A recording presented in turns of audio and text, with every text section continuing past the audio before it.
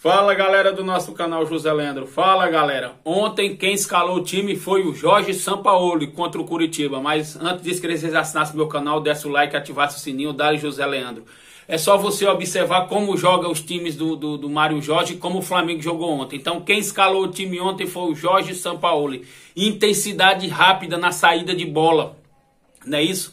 rapidez na transição, marcação alta o tempo inteiro. Então é assim que gosta de jogar os times do São Paulo. Quem acompanha o São Jorge de São Paulo sabe que ele gosta de jogar como o Flamengo jogou ontem.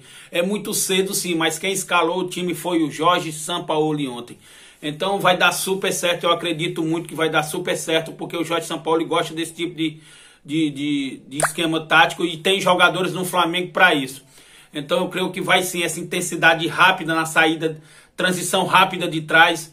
Pra, né, isso muito diferente do Vitor Pereira que gostava de sair cadeceando a bola. Ele, o, o Jorge Sampaoli já é totalmente ao contrário. Ele gosta de uma transição rápida na saída de bola, intensidade alta, todo o tempo intensidade alta, marcação alta, né? Isso foi como a gente viu ontem contra o Curitiba e vamos é, é, continuar a ver contra o Al, contra o Nublense no meio da semana e vai ser assim os times do São Paulo. E por isso que eu acredito muito no trabalho do Jorge Sampaoli, eu creio que vai dar super certo, porque ele gosta de trabalhar dessa forma. Ontem já foi uma amostra, uma pequena amostra como o Jorge Sampaoli escala os times. Então, vai ser desse jeito. Então, acredito muito no trabalho do Jorge Sampaoli. Vamos encaixar esse time e vamos brigar por todos os títulos que tem pela frente, porque o Jorge Sampaoli, ele é um baita de um técnico, não é isso? E tem peças para isso, diferente do técnico anterior que não tinha peças para o esquema dele, ele não foi humilde para para esperar as peças chegar. Já o Jorge São Paulo tem peças para a forma que ele gosta de jogar, intensidade rápida, né? Isso na saída de bola, marcação alta, ele tem essas peças para isso no Flamengo. E ele só vai jogar ou com Pedro ou com Gabigol, ele não vai botar os dois não, viu?